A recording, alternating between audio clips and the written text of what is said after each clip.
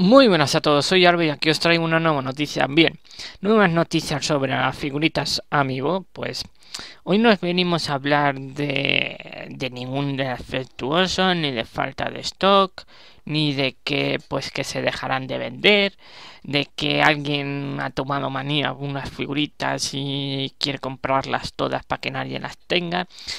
Y bien, sabiendo ya toda la historia de los amigos sobre su escasez, sus amigos defectuosos, un negocio detrás, la especulación que hay detrás de ellas, es decir, que muchas gente pues las compras por mm, una cantidad mínima y, la, y dobla el precio para poder venderlas y eso lo que convierte pues en un poquito difícil acceso y un auténtico objeto de colección a las a figuritas amigos que estén defectuosas.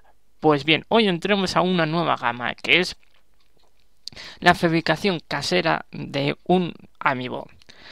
Pues bien, es un amiibo que le ha creado un fan de Nintendo en el cual, pues, como estáis viendo en la imagen, eh, todo el entorno de eso se ha currado bastante, eh, hay que decirlo. Joder, eh, tiene un chapo por el chico. Y es que ha creado un, eh, como estáis viendo, un amiibo de Mewtwo que solo funciona en el Pokémon Rumble U, solo funciona ahí. Y básicamente pues la ha creado desde cero con un chip NFS, que es como funcionan estas figuras, y una base. Pero este chico pues ha llegado un poquito más, que es que, que la ha creado y la ha puesto en eBay. En el cual pues se vende por 260 dólares no la habrá puesto, no sé si la ha puesto en formato eh, comprarlo ya en formato subasta, pero mm, creo que por 260 dólares, si lo pueden comprarlo ya y tal, tal como está el mercado de los amigos, ya habrá volado. Yo creo que la ha puesto por puja, a ver cuánto sube.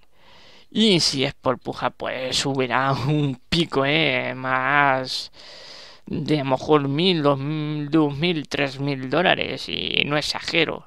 E incluso a unos amigos han vendido así. Así que ahí dejamos un nuevo amigo creado por un fan extraoficialmente. Y me despido un saludo y hasta luego.